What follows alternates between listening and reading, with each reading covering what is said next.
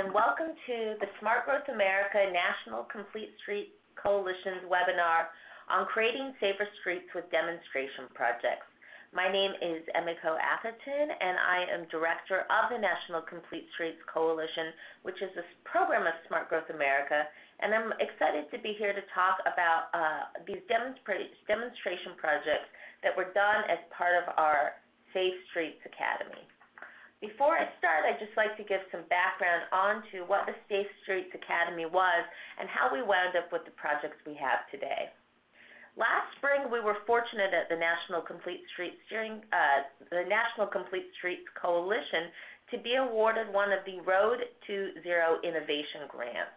The Road to Zero Coalition is a group of organizations from around the country are who are committed to zero traffic fatalities.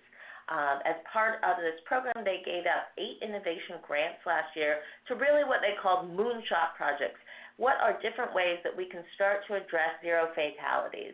Um, and what we proposed was the Safe Streets Academy, which was really a chance to work with three communities across the United States on not only the, the best engineering countermeasures for uh, pedestrian for pedestrian safety, but to actually go ahead and have those cities do moon moonshot programs and uh, try out what they were learning on the ground. We opened up a competitive application project, um, and we received applications from well over uh, 35 communities within the United States, and we ended up picking the cities of Orlando, the Lexington Fayette Urban County Government of Kentucky, and the city of South Bend because they had really shown they were at a point where they were committed to reducing pedestrian and bicycle as well as all traffic fatalities. But they were really looking for, you know, what are the next steps to take us over kind of where we are um, and try out new things. The way this programs work worked is that we actually, as a group of three cities, got together three times in person to really start to look at what are proven safety countermeasures and how can you implement those through creative placemaking and community engagement, as well as through street design. We met once in the city of Orlando, once in the city of Lexington, and once in the city of South Bend. And so there was a lot of peer learning involved with these interactive exercises.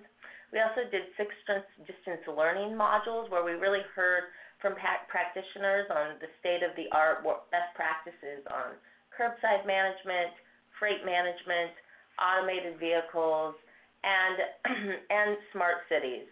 Um, so with that said, um, we had the cohort. So we selected, we had each city select a cohort of 10 people who really touch the transportation process, but maybe don't all just work at the Department of Public Works or the Department of Transportation, but also worked, say, um, in law enforcement or in public health or with a local university and have them really uh, share among share learning amongst the cities, but also within the city. And then those cohorts had to get together and plan and implement a safety demonstration project. So what we're going to hear today is really from each city is going to talk about what they learned as part of the Safe Streets Academies and how they turned those into demonstration projects within their communities. So we'll start off from hearing from the city of Orlando. We'll then move on to Lexington, South Bend, and then we'll have times for questions and answers at the end of the webinar. Um, I encourage everyone to use the chat box that should be in the lower left-hand corner of your screen, and you can type in the questions. We will get those as soon as you type them, and we'll start making a queue of questions, so we'll have ample time for those. Um, this is a question that has come through, and so I wanted to let you know we are recording this webinar, so it will be available to view later. Um, so the two things that are important is type in your questions, and don't worry about taking too many notes from the slides because we'll share all of this later on. I'd like to first start um, where we started as a Safe Streets Academy in Orlando, Florida, and today we're going to hear about the Curry Ford Road demonstration project from Billy Hattaway.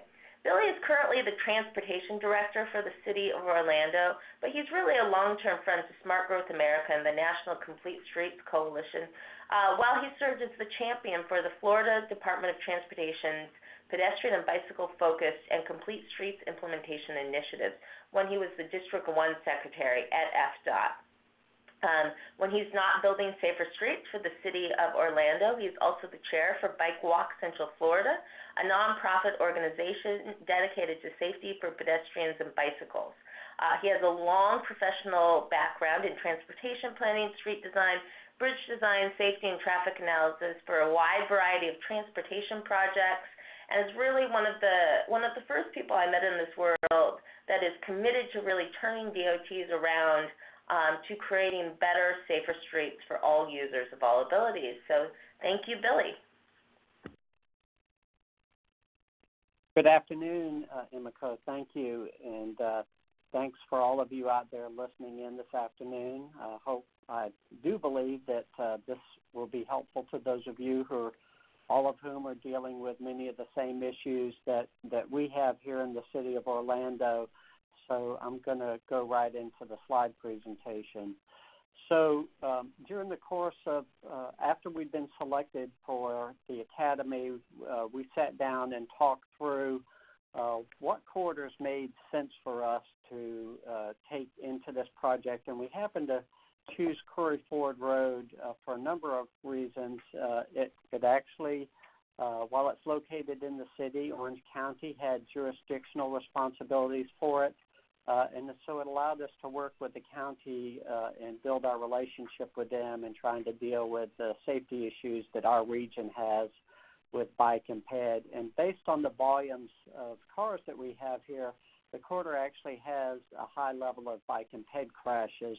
And also, the uh, traffic volumes are such that it doesn't really warrant a five lane configuration. Uh, and finally, uh, the vehicle speeds on this corridor actually are very high when you consider the fact that uh, this borders residential neighborhoods. While there is commercial along the corridor, there's residential neighborhoods intersecting Curry Ford Road. So you can see from this slide that I've just put up uh, on the west end, which is the left side of the slide, is Bumby Avenue, and Curry Ford Road goes from this five-lane section down to a two-lane brick street. Uh, the three streets uh, that are illustrated here, Bumby, Primrose, and Crystal Lake, are all residential streets. The length of the corridor is about a half a mile. And so what we did really was extend this two-lane road for a half a mile you can see the volumes uh, during the weekdays uh, run between 16 and just over 20,000. And you can likewise see uh, the crashes that we had captured within just the last couple of years. So one of the things that we learned, especially with, such a short window, uh, because we had to get all this work done uh, and documented uh, in a very short window because of the grant schedule, which was which was fine. Uh, so we had to go pretty hard at doing the community outreach. And so you can see on the left the flyer that we produced uh, that announced the project. And on the right hand side, you can see a concept that was illustrated early on just to give people an idea of what this might look like. And then we have a uh, an 11 by 17 that we used uh, for briefings uh, with the elected officials and also for meeting with the public. Uh, we had a, a, our first meeting was a, a kickoff meeting uh, in February. We had over 60 people take part. It was uh, the people that came in were really engaged. Uh, they we basically asked them what things they liked, what they didn't like about Curry Ford Road, and, and what what would they like to see changed in order to make it better. And you can see uh, a board there where a lot of the comments were actually written by the public, and, and of course you can see people getting questions answered and uh, talking about the quarter overall. And this is this uh, top slide just illustrates it's a Wordle that illustrates the things that were important to the to the public, and you can see uh, most of what's on there uh, are things that Curry Ford Road does not have. And so these were things that the public said they would like to see uh, done differently with the, with Curry Ford Road. And down below, you can see uh, a better illustration of what the uh, proposed cross section ended up being uh, as, a as a result of the public input. Uh, we installed this project between April 2nd and 6th of, of this year. Uh, one thing I do want to note is because this was a temporary project, uh, we actually put temporary tape down. That's that was how we were able to put the pavement markings on. And so at the end of the project, all all the uh, crew had to do was come back out there and pull that tape back up off the pavement, uh, which allowed us to restore the corridor to its original condition. This this project was in place uh, for 30 days overall. Uh, you can see one of the treatments that we put in. In addition to the bike lanes, we put in a mid-block crosswalk. Uh, we also put in ADA ramps uh, so that uh, those who are disabled or who may have shopping carts of some sort had a an easy way to get uh, across the street at this particular location.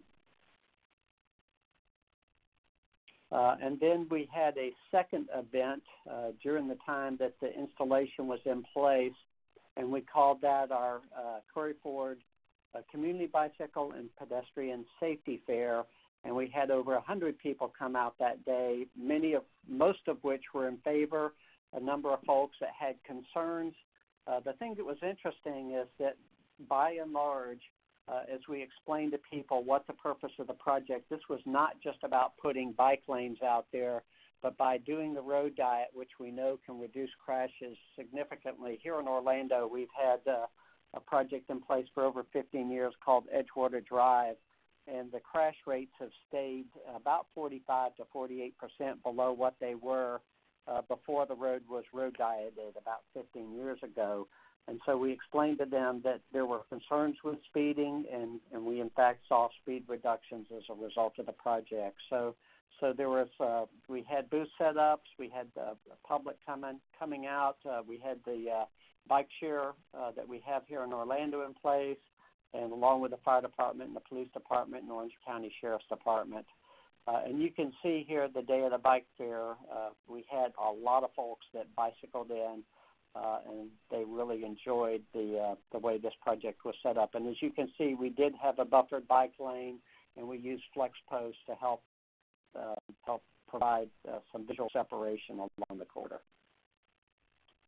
Uh, we did a lot of community outreach, as I mentioned earlier. We did uh, briefings with the with the commissioners, mayor, the senior staff. We out we reached out to 18 condos our staff actually walked the corridor and met personally with the businesses, either the owners or the manager, depending on who was on site. And we used social media. As I mentioned earlier, we worked with Orange County, briefed them on what the plan was, uh, uh, including their communication staff. And during the course of the project, uh, there was a good bit of media uh, interest as well. So you can see that the uh, the day of the bike and ped safety fair, we uh, had a drone out uh, over the corridor, so you can see this uh, this drone's eye view of the uh, crossing. And uh, in terms of performance measures, uh, with 30 days, it was uh, tough. We I think we had a pretty optimistic view about what we might be able to capture realistically. As it turns out, the things that we captured uh, were illustrated here: safety through livability, and these are the uh, things that we were able to accomplish. We did reduce uh, average daily traffic, not significantly. We reduced average vehicle speeds, especially during the off-peak times. There were some diversions to neighborhood streets, uh, but not significant. As, as any of you that have had any experience with construction where lanes have been closed, it takes time for people to adjust to new travel patterns. And with 30 days, that's that's a fairly heavy lift uh, over a longer period of time. We would expect to see uh, some of that traffic uh, move over to the toll road that's parallel to Curry Ford Road. A lot of people uh, from east and south of this area use Curry Ford Road uh, as an alternative to the 408, which is the toll road, and then they cut through those three residential neighborhood streets, which was another goal was to actually get some of that traffic commuting traffic back over to the 408. And then you can see the other treatments that, um, or the other uh, results that we were able to achieve. Of course, we did have some delay, uh, but it was not uh, quite as significant as some of the people who called or emailed in. Uh, we had about uh, 250 emails, and we ended up with about between 37 and 38 percent of those were in favor of the project, and of course the rest were either opposed a large percentage were opposed or neutral, most of which were coming from outside the neighborhood area, uh, commuting in from longer distances. So we learned a lot from this project. The project was really helpful. Uh, we adopted a Vision Zero policy in the fall of last year, and we're actually working on our implementation plan for Vision Zero right now. So, uh, because none of the staff had been involved with a project like this at the city in any type of road diet, uh, it was a good experience for us to learn, uh, to understand the importance of having longer and more extensive public outreach, and to really prepare people realistically for what to expect when these types of changes are made. Uh, having community champions is, is certainly very important, especially your commissioners. Uh, make sure that people understand what we're trying to achieve. Uh, you know, so many people uh, thought that this was a, a bike lane project, so we need to do a better job of communicating all of the goals. Uh, and then we, we should know that there's always going to be opposition, no matter how positive the uh, the results might be. And having data, uh, collecting data that shows what the actual facts were. Uh, we saw that the delays uh, during the course of the normal uh, especially the third and fourth weeks, that the delays were typically more in the five to six minute range, not the half hour that we heard from some people. So uh, people are going to exaggerate, and you just need to expect that. But overall, uh, from my perspective, from the city's perspective, um, in terms of our transportation department, it was a it was a great project, and we um, we appreciate the support that we had from the other two cities this is the team that took part, including uh, our traffic division, uh, Lieutenant Ruth, and uh, and we're just very grateful to Smart Growth America and the National Complete Streets Coalition for the opportunity to take part in the Safe Streets Academy. And with that, I'll turn it back over to Emiko. Thank you so much, Billy. And this is uh, this has been such a great project to kind of follow the story of. As I mentioned, there we will have time for questions for everyone. At the end, we see all your questions coming in, so make sure to send them. Uh, we are furiously getting them down.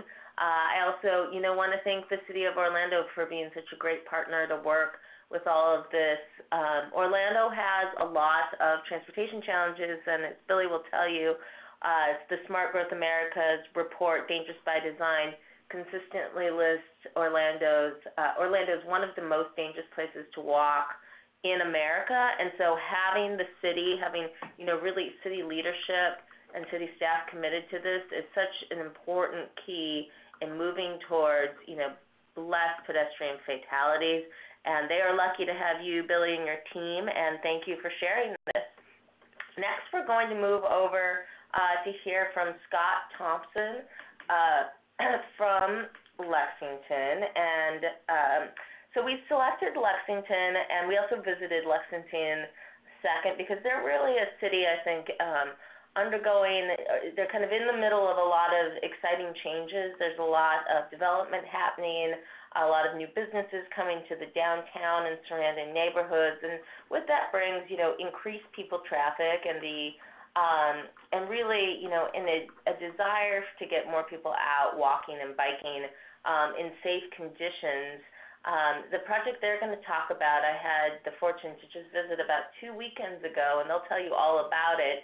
Uh, but really, it connected to this fabulous new amenity, their night market. Um, we're going to hear specifically from Scott Thompson, who serves two roles. Um, he's the senior transportation planner and the bicycle and pedestrian coordinator in Lexington, Kentucky, uh, where his work really focuses on bike and pedestrian connectivity, data collection, analysis, and updating Lexington's long-range bike and pedestrian master plan.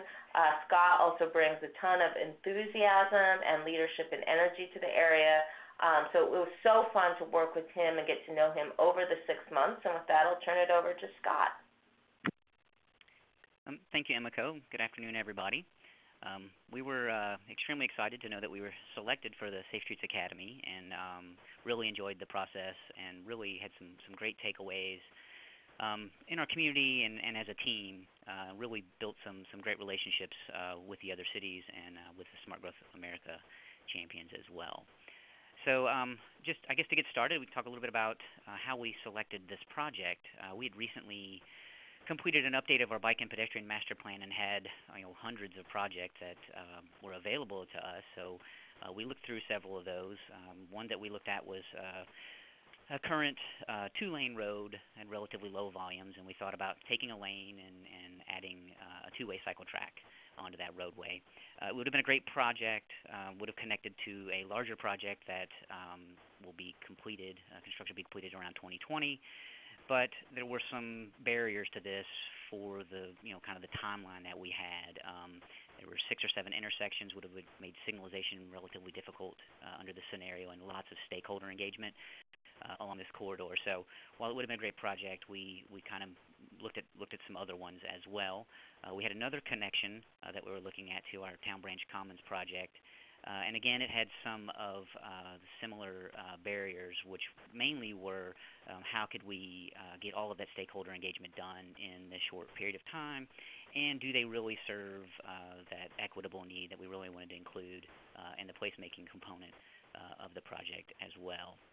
Um, so we finally came to our project selection area, which was the intersection of Loudon and Bryan Avenue, uh, and we also incorporated a few other intersections that surrounded uh, the main intersection that we were, were looking at. Um, this uh, area kind of floated to the top um, because it was a great opportunity for multimodal safety improvements. Uh, we had really strong active community groups, uh, very interested in improving safety in the area. It's a very equitable area the intersection geometry is very challenging for, for all modes as it currently exists, and so we thought that would be a, a really fun project to work through the conceptual designs uh, to lead into the to the final design. And so we, we thought it was a really great project. And then another really key element was that we were able to engage uh, another group, which was um, a local group called the Citizens Environmental Academy, um, who had also selected this area uh, for a multimodal project improvements, and they were also able to bring an additional $15,000 uh, to the table to help um, uh, facilitate the project, and six more volunteers, which was really important uh, when we really got into that community outreach piece. Uh, so you can see here's a little bit of our conceptual work and some of the, the final design. Um, so a little bit about the Citizens Environmental Academy.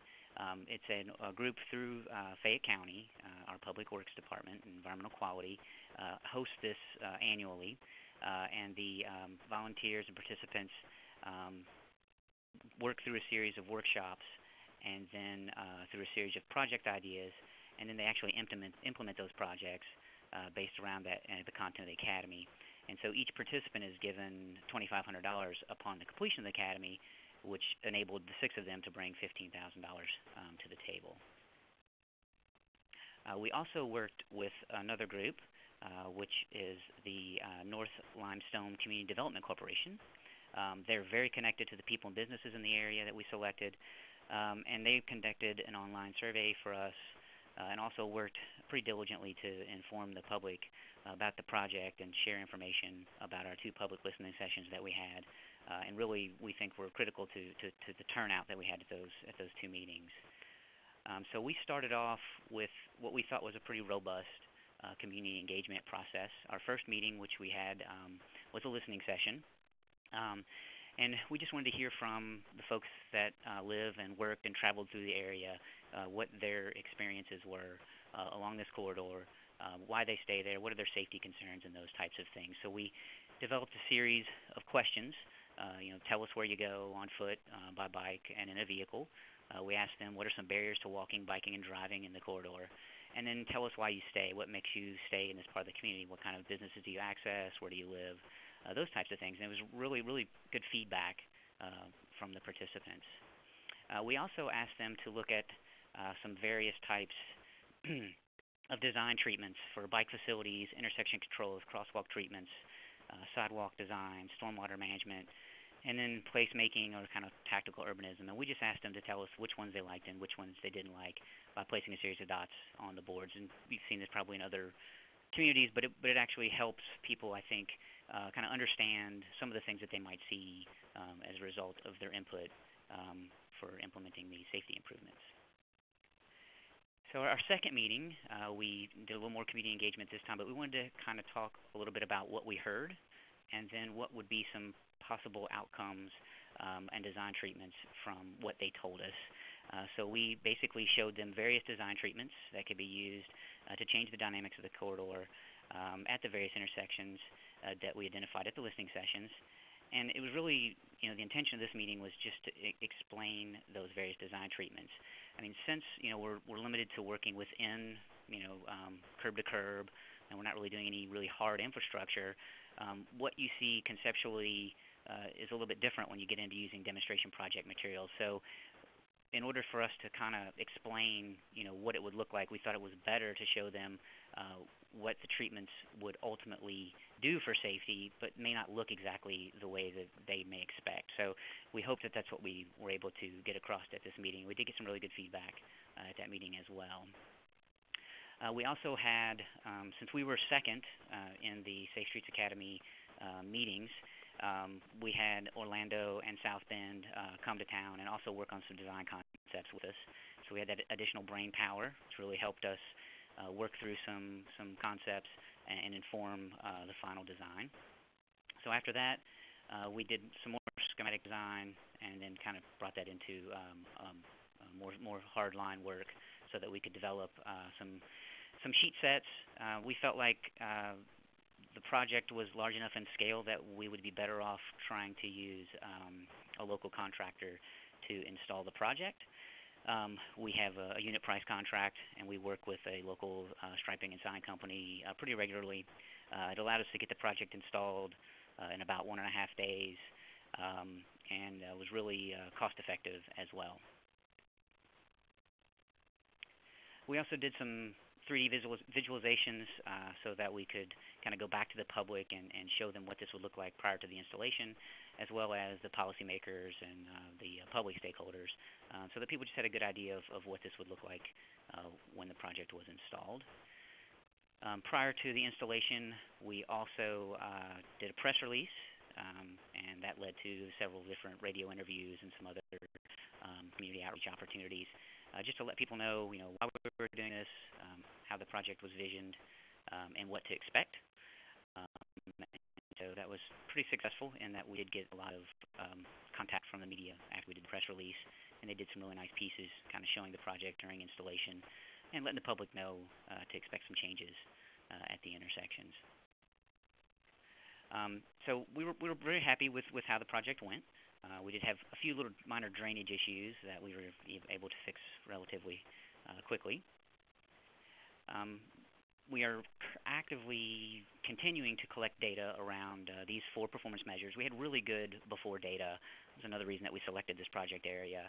But we're looking at speed data, the multimodal counts, so um, all the vehicular counts as well as bike and pedestrian counts in the area, um, and then uh, collision data uh, for this particular intersection.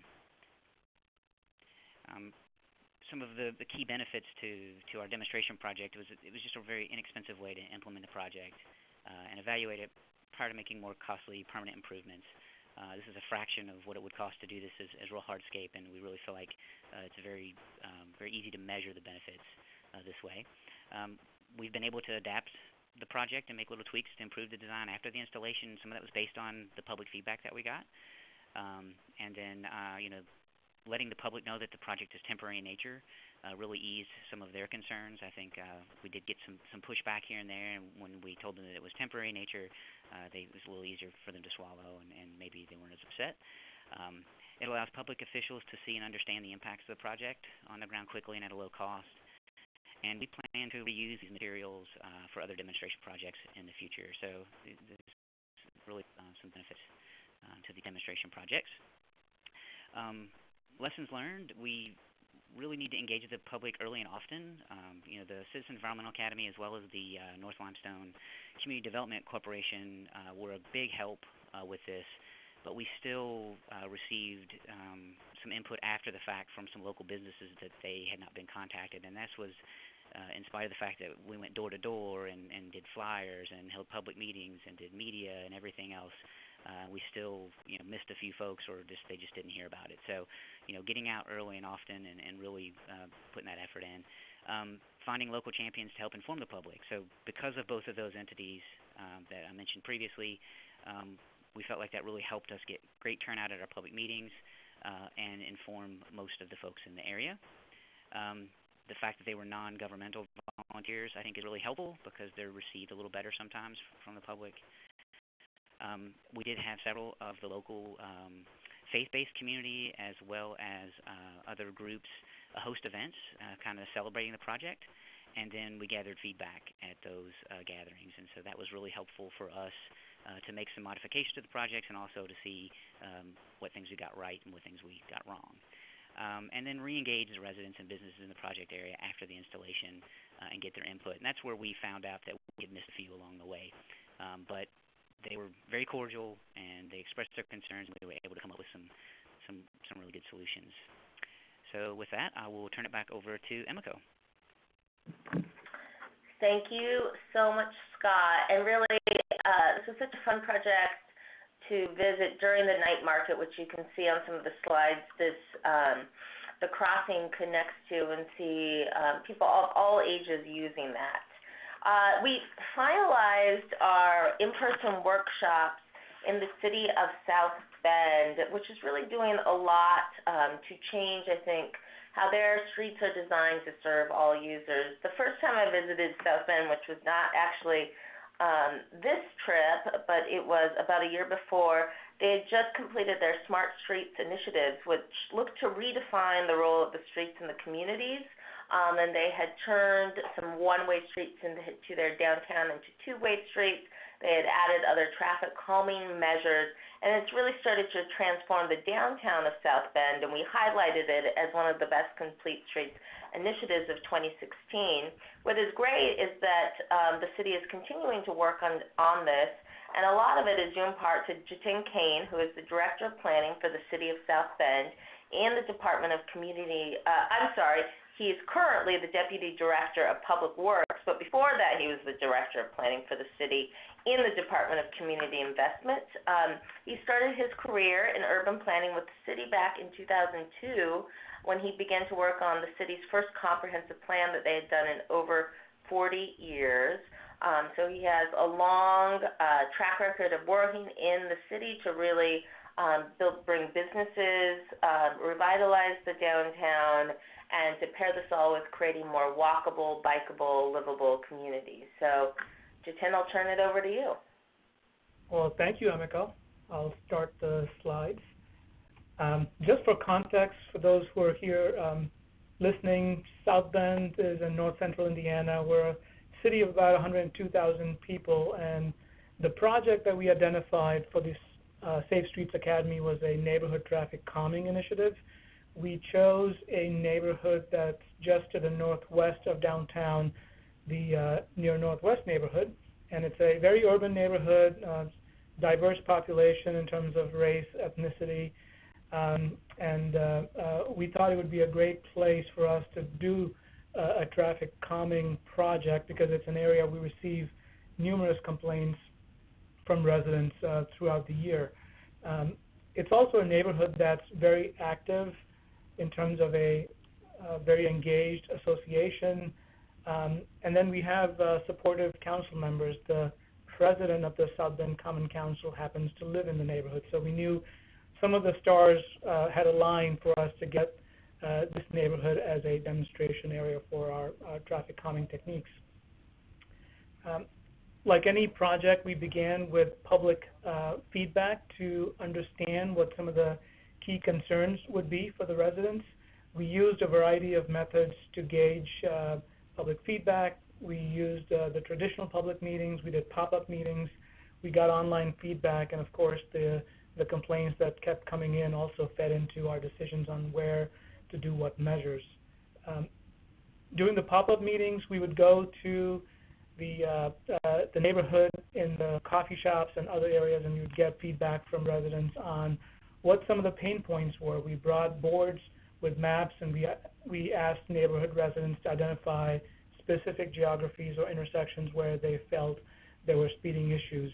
We already had some of this data uh, because they, there was a history of these complaints from the neighborhood, but this allowed us to interact one-on-one, um, listen to the neighborhoods, um, and really start to identify these exact locations. Uh, we also sent out a GIS map uh, link through the neighborhood listserv. Uh, this was a collector app where residents could identify uh, specific intersections where they were seeing speeding, and here again they could put a pin, and we use this to inform our decision. Um, the public feedback allowed us to identify these key locations. We chose these five locations within the neighborhood to test out a variety of uh, traffic calming measures that had never been used in the city of South Bend before. We'd never done a traffic circle or a chicane, uh, and we had done some limited bump outs in neighborhoods, although we'd deployed them primarily in our commercial corridors in the downtown. We'd never deployed them really in, in the neighborhood. So this was a way for us to use public feedback to identify the locations where we could use these measures. The, uh, we chose the intersection of Riverside and Hudson as one of our primary project areas. As you can see from the geometry of the intersection, it's really awkward, creates a lot of speeding issues. We've had some accidents here, some near misses. The residents are really frustrated. And it gave us a uh, really good opportunity to test a neighborhood uh, traffic circle. As you can see, the geometry is really calling for one. It also, because of the the pavement, the extra pavement we have here, we, we thought this would be an excellent opportunity to do a placemaking project. So we started with the placemaking project here, and then we identified chicanes and um, um, and, and um, some of the other neighborhood locations for other measures. We engaged a local artist in identifying what kind of placemaking project we would do, and we came up with the idea of uh, painting the pavement with a pattern. So this is again um, a resident of the neighborhood, which helped us get more buy-in from the residents. Uh, the fact that this was a demonstration project, we were trying something new and using um, a local artist and the residents of the neighborhood to paint, again, help uh, build that buy-in to uh, implement the project. This was our first implementation. We we uh, we did this around mid-April to mid-May for about 30 days. Uh, the five projects were done for that time, although the, the rubber uh, bump outs that we use here are going to be deployed for a bit longer. The, uh, the other materials have been taken down. Um, we deployed the, the rubber curves uh, a few days prior to the public art install, and then soon after we had the, the residents come out in a block party and help paint the street. This was an exciting event. We had our council member there, um, city staff and residents all worked together over a few hours and helped uh, really create this sort of sense of place. And we talked a lot about in our public meetings about streets as public spaces, and this was a way for us to show that we can truly uh, reclaim streets as public space. The other project and the other measure we deployed was using uh, straw logs. These are very temporary materials to uh, do a pavement reduction. As you can see in the graphic here, the intersection here is really awkward. It's a sort of a five-point intersection, and uh, we have, again, awkward geometry, near misses, residents complaining about the geometry, and so we just simply did a pavement reduction by putting straw logs, making it into a regular four-way intersection, and uh, it's got uh, stop controls on all directions. And again, simple measure like that helped clarify to the public how to navigate the area. At this intersection, we just deployed a uh, traffic circle. Again, this was a very simple installation. It took us 15 minutes to put these straw logs together. The cost was really low because all we did was use traffic cones and these straw logs. Um, we also put some signs, which was another important um, educational component for each of these locations where we, we identified what the traffic control measure was. We had a way for residents to uh, go online and get more information on the project. But again, to residents who were walking, but also those who were driving, this was a way to understand what the city was doing over a short time. This is an example of a chicane, again using the straw logs.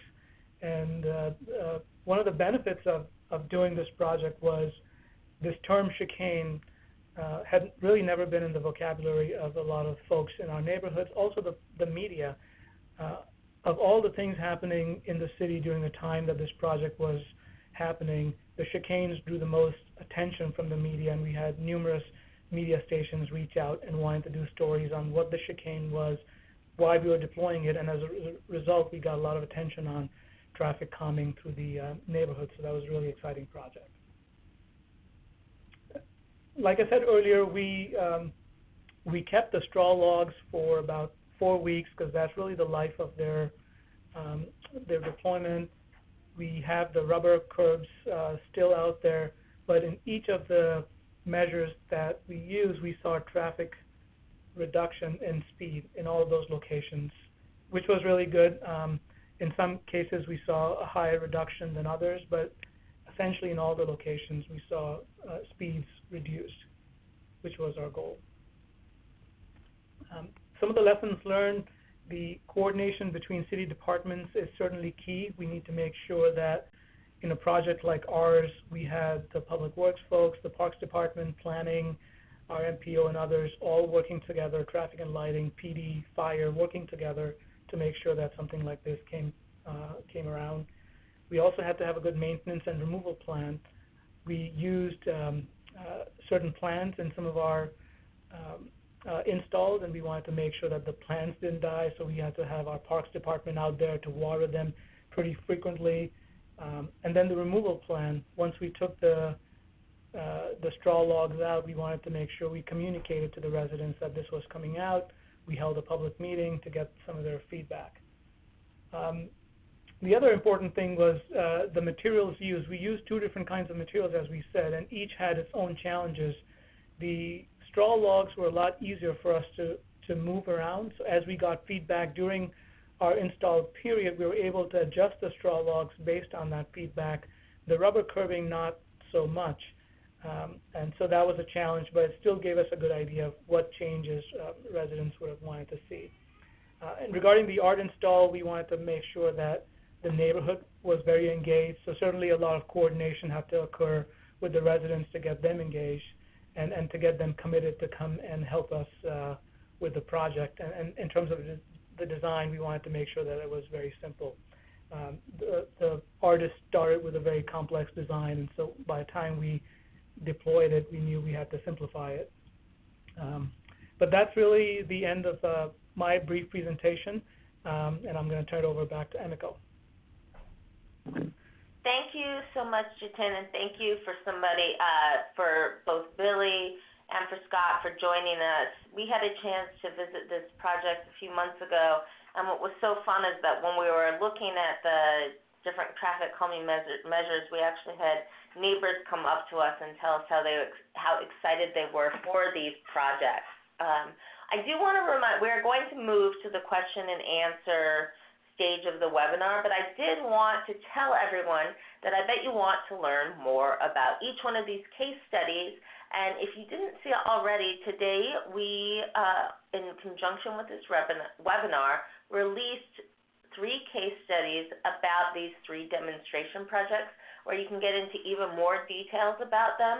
You received a link to the case studies in your confirmation of this webinar, and we will also send out a link to them as a follow-up. You can also always find our resources on www.smartgrowthamerica.org. So I encourage you to all go ahead, get on your computers, and download those that report right now um, to learn about what each of these three cities did. Uh, but we're going to move into really your questions and answers. If you have not done so already and you do have a question, please go ahead and type it in the lower left-hand corner of your chat box, and we will see your questions there. Um, I'm going to start with a question for all three of you. Uh, one of the questions that we got um, was about cost, and what I wanted to say, that I didn't mention at the beginning, is we realized that, you know, as part of this, we really asked these cities to do a moonshot project. And how could they not just take what they were learning um, and go back to their cities, but actually go back and then start to apply these on the ground? So each city received an $8,000 sub-grant from us to put towards their demonstration project. And in exchange, they had to either match, um, match the $8,000 in cash or in kind at a minimum, and the in-kind could be both, uh, it could volunteer time, it could be materials donations, um, but each city kind of piece that together differently. And I'm going to actually, I'd like to start with South Bend and Jitin to talk about what were really the costs to get this on the ground. Um, and then how long, uh, you know, how long are you going to leave this up, and do you have plans for uh, to to make this into a permanent installation? Uh, and with that, then I'm going to go to Scott and then Billy to answer uh, those questions. So, Jitin, can you start? Um, sure. The uh, the overall cost for our project was under 20000 so we had the 8000 from Safe Streets, and we matched that with another 8 plus some additional resources. The the cost for the straw logs was very minimal. Um, that was one of the cheaper materials. I think it was about $2,000 to get all the straw logs that we ordered. The uh, the rubber curbing was a little bit more expensive. I'm not aware of the exact cost, but we can certainly share that. The uh, um, the plan for us is to certainly keep the rubber curbing material at the Riverside Hudson location till uh, we get to the, the winter period, so about October, November, so that we can budget for perhaps a full-scale, um, more permanent install next year. We are going to be talking about that in this budget cycle. We would like to do the same for the other locations as well. So that's part of our um, uh, conversation right now, but we do plan on doing something permanent at each of the locations. Great. Thank you. Scott? So Our um, total project cost was just under $43,000. Probably the most expensive component uh, were the uh, Sure-Tight or Qwick Kurb style delineator posts and curb markers. Um, we obviously received uh, the 8000 from the um, Safe Streets Academy grant. We matched that locally. Uh, we had a $15,000 from our um, Citizens Environmental Academy participants, and then we uh, put in some other local dollars to hit that mark. Um, our contractor also did some in-kind donations as well as uh, the Sure-Tight folks uh, discounted their product uh, because of the nature of the project uh, being a demonstration project. Uh, we plan to leave the project in uh, through the month of October. We have another project down the road that we think is affecting some of the traffic patterns, and so we'd like to see what happens when that part of the roadway opens back up. Um, and as far as long term, um, you know, we, we branded this project with the intentions of trying to keep it alive after the demonstration project. Um, so, you know, we'll look to our policymakers and see how they feel about that and try to uh, move forwards um, uh, after we, we remove the project uh, to go through that process of trying to make um, permanent changes uh, to the intersection that we think are pretty important as it relates to safety. Great. And Billy? Yes. Um, the cost, our construction project, uh, including the curb ramps, was just uh, just over seventy-two thousand dollars, uh, and our project is not going to be permanent. As I mentioned earlier, uh, while it's within the city limits, this is actually a county road, so we would have to take the county road over in order to do any types of treatments on the corridor. Great. Thank you. Um, I've got my first question just for you, Billy, um, and I'm going to a- ask you to answer this um, because we were still you actually received multiple questions about this, but what type or brand of tape did you use on the crosswalk, and how well did it hold up? Uh, the brand is called Swarco, S-W-A-R-C-O, and you can go to their website, swarco.com. Uh, it was down for 30 days. It held up really, really well, and, and with the traffic volume, especially with the traffic volumes that we have, uh, and including obviously turning movements and that sort of thing. So we were very pleased with it. That's great. Thank you. Uh, Scott, my next question is for you. Um, one of the things that we talked a lot about in the Safe Streets Academy was performance measures, and really um, we asked each, you know, each city to take a baseline kind of performance measures and then figure out um, and, we had them develop really the performance measures they were going to collect based on the things that mattered to their communities. You know, what did the communities care most about? um, but then asked them to figure out how they were going to collect them, what partners they could work with to collect that data, and then really how what was the story they were going to tell with those performance measures. And I think you did a great job, you know, starting to collect that data, uh, Scott. And could you tell us what programs or tools did you use to gather the data on your performance measures? Um, so for vehicular counts, we used just very traditional tube counters. Uh, for the bike and pedestrian counts, uh, we used cameras uh, like a Miovision type technology uh, and with a local company that we sourced that through uh, to get our uh, bike and pedestrian counts at the intersections.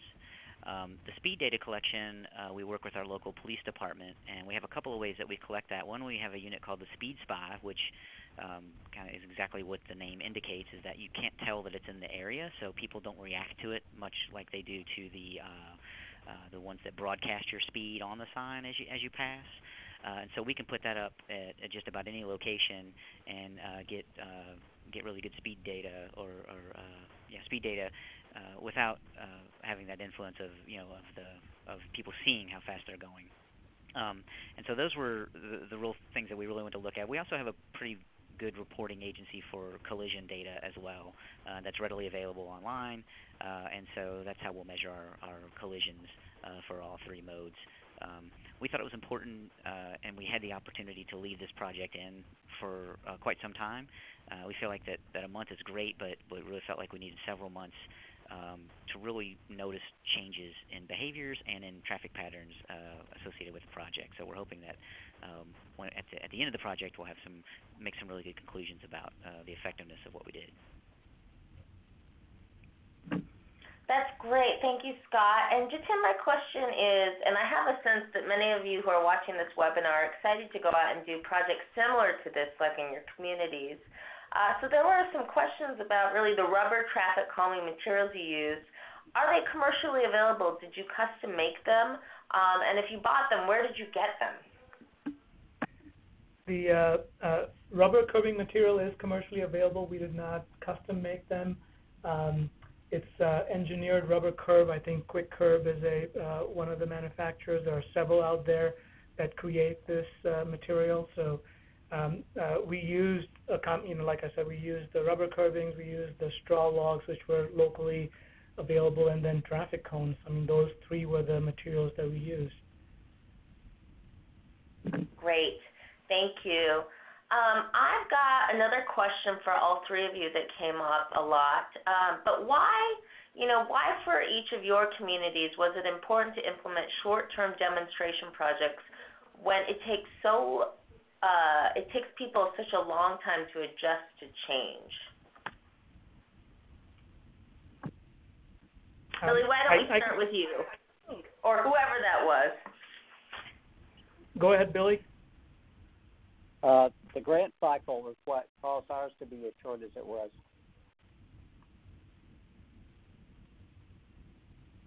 Now about Scott or Jitin?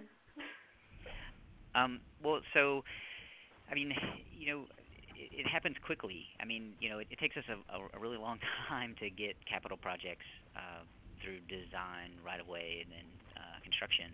Um, and so the ability to do this quickly uh, and really measure um, the effectiveness um, really helps to inform that that more permanent project, and I think really builds uh, more consensus around the project and helps to kind of promote that that change a little bit. So, um, you know, even if it is just for a month, I still think that there's a lot of merit uh, in how quickly you're able to move something from public outreach and public communication into installation. Um, um, that's really good for that, showing people how things are going to change, I guess. In the code, this is Billy. Uh, we would ideally we would want that project to be on the ground from three to six months after we did okay. all the prep work. Great. Um, Jitin, any thoughts on this? Kind of what did you learn about having to implement it in such a short time? Um, I'd say similar to what Scott just said. Uh, one of the greatest benefits I think we got out of the project was the ability ability to educate residents on these new measures and also show them how they work. So there was reluctance for chicanes or traffic circles because they had never been done before, and us saying that, listen, this is a demonstration project. If it doesn't work, it comes off. It's like it never existed. Um, I think by showing it to them, we were able to get a lot of community support. Um, it's one thing to show a drawing, it's another to really show what the measure looks like. We have a huge backlog of complaints in neighborhoods about speeding, and uh, it takes a long time. It takes a lot of funding to install a measure. So our funding may allow us to maybe do one neighborhood a year. Something like this, a temporary measure, even using rubber curbing, might allow us to address 10 to 12 neighborhoods a year now with the same budget. And so I thought, thought that was the biggest benefit of a demonstration project. So I think that might lead into my next question for Jitin, but what are you going to do differently because of this project? Are you going to, um, is, you know, is your department going to change anything and operate differently as a result of uh, this traffic calming initiative? We already are. We uh, have already done a couple of different presentations in neighborhoods who found out about this measure and asked us to come and talk about traffic calming. Um, and so one of the things we're doing immediately is instead of taking concerns and then going into engineering, prioritizing projects and doing one, we're starting to think about how we deploy multiple projects simultaneously with the money that we have, with the, the funds that we have. So that's the one thing we're doing immediately uh, while we plan long term. We're trying to do more short, medium term solutions. That's great. Scott, how about you? Um, have you and has your you know really your department and those you work with? Um, do you think that the demonstration project will contribute to a kind of different way of doing things? Yeah, I think so. We are um, really looking at how to use this as a part of our neighborhood traffic calming uh, program. Uh, currently, we get obviously we get a lot of requests, like most communities, uh, about concerned citizens uh, with speeding in, in their neighborhoods and uh, we end up with a lot of stop signs and um, speed humps. And we feel like there's a whole lot of uh, traffic calming measures in the toolbox uh, that people aren't aware of. And so similar to what, what South Bend and, and was saying is that you know, this allows us to uh, show people on the ground as opposed to on paper um, how these things can effectively reduce speeds and improve safety along a lot of our, our local uh, collector streets. Um, and so we're hoping to incorporate that into into that process, and have started kind of discussing what that might look like, and how we could offer this, and really get the communities who are making these requests to champion the implementation of the project. So uh, it's kind of ongoing, but that's kind of our ultimate goal is to uh, how can we move that forward that way. That's great, and I'll um, I'll also make a plug for one of the things they're doing in Lexington is actually creating like a traffic calming library and by then I mean they're actually going to, and, it, and correct me if I'm wrong, Scott, but actually a library of materials that communities can come and use when they want to do their own demonstration projects, which I think was uh, a really neat and fun idea. Yeah, that's definitely one thing that we we've discussed, um, and we think that that's something that that that, that we may uh, work towards.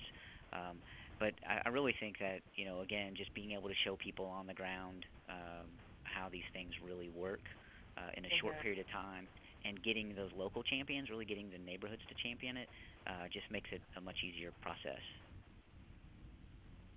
Great. And uh, Billy, kind of, I'm going to give you the last word on this. Uh, do you think you'll change anything, or maybe the people you work with, as a result of the demonstration project? Well, definitely. Um, as I mentioned earlier, we're in the process of developing our Vision Zero action plan, and we plan to use uh, temporary projects like this to test the treatments on the corridors that we're looking to make safety improvements on before we do permanent installations so that we can make adjustments or, if nothing else, to help people see that the world will not come to an end. Thank you so much, Billy. I think those are great last words. I want to thank the three of you again for presenting and really all three of the communities for being such great participants in the Safe Streets Academy.